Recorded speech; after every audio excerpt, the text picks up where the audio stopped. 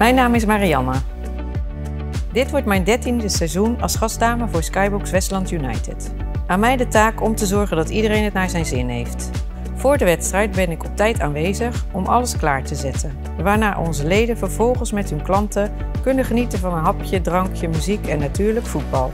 Ik geniet ervan als iedereen een gezellige avond heeft. Dat is nou echt ADO.